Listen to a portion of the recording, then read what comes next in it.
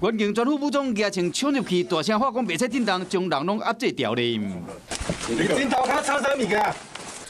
这时，涉判主嫌带头的犯罪集团，去年九月在白亚去外海接运毒品，伫近海因为航线托管和海巡舰艇停船检查时，嫌们就将走私的毒品拢总弹落海。